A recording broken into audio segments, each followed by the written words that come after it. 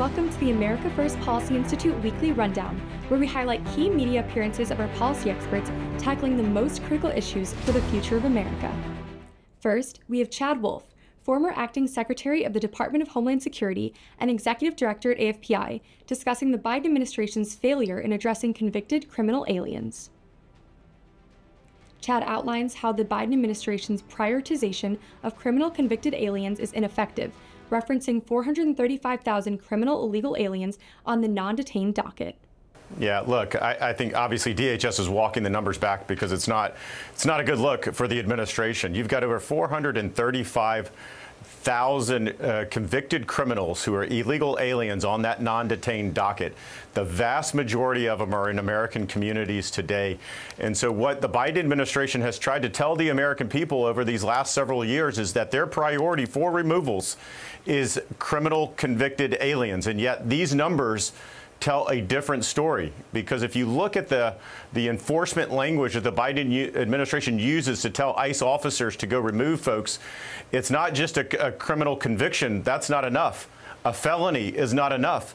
You have to be a serious felon for them to remove you, but yet they don't define what a serious felon is. And so it's up to anyone's imagination and understanding of what a serious felon is. Perhaps that's a murderer, but perhaps it's not a rapist. So when you're not very clear with ICE officers and removal officers on who are they are supposed to remove and you put categories and you exempt other categories, you get the end result is you get such a large number of folks on that non-detained docket.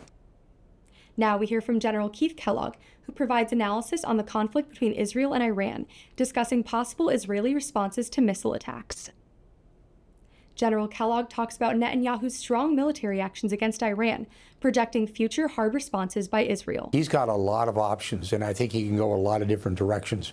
He is going to respond, Netanyahu is. You know, I, I'm always a little bit surprised that senior leaders or national security experts don't listen to people. If you listen to what Netanyahu said, when he was at the UN General Assembly and he talked about Iran. You know, he talked about Moses and he closed with the book of Samuel. They look at this fight against Iran as a biblical issue, a long-term issue. And when you look at Iran, you have to drop down. Then you talk Hezbollah and the Houthis and Hamas. But their frustration is they're actually fighting this fight by themselves. And you just mentioned that when you showed the map of all the directions that they're fighting. But they're going to respond, and it's very clear they're going to respond. Some of the things you pick up, the tells that I'm picking up is, for example, just the other day, they took out four air defense sites in Syria. They call it uh, SEAD, S-E-A-D, Suppression of Enemy Air Defense. What they're doing is opening up a lane a lane into Iran. So where are they going to go? That's a great question. I think they're going to go hard. And when they go hard, you're looking at the potential for Esfahan, or you're looking at their nuclear sites that they want to go after. Because when you hear what Blinken said about them getting ready for a breakout, the Israelis have said, we're going to have to do this on our own because the, the, United States has said, well, we want equilibrium, meaning that we want everything to calm down. It's not going to calm down we should actually reverse that and say, no, we're full score behind them. You know, when you look at the Iron Dome that you just mentioned, yes, those sir. three interconnected systems, the fact is that's also a U.S. system, U.S. built system, U.S. and Israeli built system with Israeli IAI helped build that. That's a great system, but it's been very, very effective, and it's given them a lot of latitude, meaning the Israelis, because the Iranians have now failed twice. And I think if the Iranians, if you look at Khamenei, the supreme leader, is probably going, mm, this may not be such a good deal. Mm. But I think the Israelis are going to do something. General Kellogg also critiques the Biden administration's handling of the conflict and explains Israel's decisive steps for defense. Kellogg highlights the need for strong American support, criticizing the administration's call for restraint. This shouldn't be about the United States. This needs to be about the state of Israel. We should support Israel full stop without question. We shouldn't be talking about a ceasefire or there's good on both sides. There's wrong. There's good and there's evil. And we need to be on the side of good. Israel is trying to protect their citizens as much as we would do. And they're trying to create that buffer zone. They're trying to create that against a, a terrorist network, which is Hezbollah. You know, Hezbollah has blood on their hands with Americans.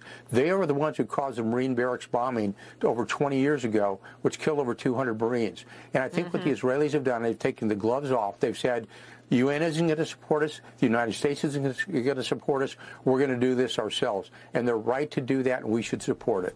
Next, Fred Fleitz discusses Iran's missile development and the increasing threat it poses to the region. Here's Fred Fleitz on why Israel must take robust action against these threats that Iran is developing more advanced missiles that are maneuverable in flight and are designed to evade missile defenses. We don't know how many of them Iran has or how accurate they are, but the, the lesson we should learn here is that this requires a very robust Israeli response. Obviously, Israel can't tolerate an attack like this, even if there is little damage, because the potential of serious damage is growing as Iran's missile program grows. Lastly, we hear from Dr. Rich Rogers and Ashley Hayek, who speak to the importance of American values and voter engagement in protecting these principles. Dr. Rogers and Ashley emphasized the urgency for Americans to vote and defend their rights and the potential impact on future policies. Party is going to be pro parental rights. Well, I'll, I'll, give you two examples. Number one, this administration's Department of Justice called parents domestic terrorists. So, what does that tell you? This is not an administration or a party that's going to support parental rights. And number two, uh, the vice presidential candidate, Tim Walz, allowed tampons in the bathroom of little boys throughout the state of Minnesota. So I cannot think of anything more disgusting than those types of policies, and that's what you're seeing from the left. And this is where our, our VP uh, uh, presidential candidate is from. Yeah, he's the governor yeah, Minnesota. There. Minnesota. And you can just look at Minnesota. I know Michelle Bachmann just had a, two pages of stuff mm. that he's done, which is crazy.